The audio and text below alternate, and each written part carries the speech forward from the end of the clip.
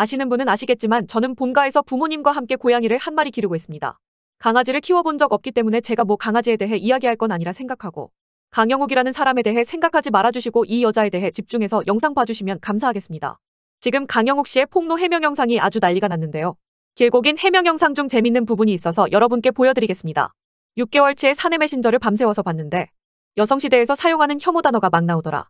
한남소추라는 단어를 쓰면서 주변 직원을 조롱하는 여직원이 있었다. 솔직하게 말씀드리자면 회사 업무 시간에 회사 메신저에서 이런 일이 벌어진다는 게 충격이었다. 그런 여성시대에서 사용하는 남염을 하는 여자들은 그 옆에 앉아있는 너무 성실한 남자 직원에게 막 뭐 냄새가 난다. 회사가 돈이 없어서 사무실이 작아서 저 냄새 나는 한남 새끼 옆에 앉아야 한다. 이런 말이 너무 많았고 강영욱 대표를 조롱하는 건 당연했다. 이제 막 태어난 6개월, 7개월짜리 아들에게 한남 유충이라는 조롱을 하는 여성들. 강영욱 씨가 지나갈 때마다 야 형욱이 지나간다고 욕하는 여성들. 그리고 그런 한국 여성들을 옹호하며 사내 메신저로 한남소추거리면 안 되는 거냐. 라는 우리 한국 여성들의 모습. 그 당시 일했던 여직원 두 명이 JTBC에 기어나와 폭로하는 모습을 보여드리겠습니다. 옆통이 아주 두툼한 게 전형적인 그쪽 느낌이 들지 않습니까? 회사가 돈이 없어서 사무실이 작아서 저 냄새나는 한남새끼 옆에 앉아야 한다라고 말하는데 진짜 냄새나는 인간은 저 옆통 두툼한 백시언냐일까요? 남성일까요? 여러분은 강영욱 씨의 사건에 대해서 집중할 게 아니라 강영욱 씨 같이 작은 회사에서도 여성시대하는 여성인권 운동가들이 남성 혐오를 저렇게나 심각하게 하고 있었다는 것에 주목해주세요. 여러분 옆에 있는 여직원 중에서도 저런 여직원이 분명 있을 겁니다.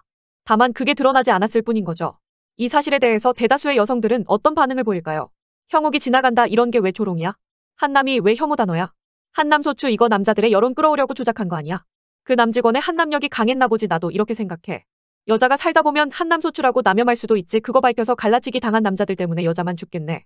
메신저 훔쳐보는 거 존나 음침하고 소름 돋는다. 라는 식으로 여직원의 한남소추 발언이 아주 정당했다고 주장하는 우리 한국 여성들의 모습. 여러분은 사내 메신저로 옆자리 남직원 험담을 하고 한남소추 한남유충 소리를 하는 한국 여자가 정상으로 보이시나요? 직원들끼리 다른 직원 까는 거 왜 못하게 해? 위대하고 존귀한 한국 여성님께서 스트레스 풀겠다고 옆자리 남자 한남소추 더럽다고 말할 수도 있는 거지.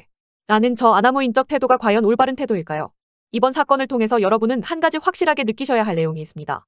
그건 바로 여러분 옆에 우리 주변에 FM리스트들이 정말로 많이 있다는 사실을요. 제가 아무리 말해도 믿을 사람은 믿고 안 믿을 사람은 안 믿고 그랬는데 농담하는 게 아니라 여성의 88%는 미투 운동의 지지를 표명했고 일상생활에서 여성에 대한 고정관념과 차별의 심각성에 대한 질문에 20대 한국 여자는 79%가 심각하다 밝혔습니다. 혹시 통계를 부정하고 싶으신가요? 여러분 옆에 있는 여성 중 88%는 미투 운동을 지지하고 있다는 게 팩트인데 진실을 외면하고 싶으신가요?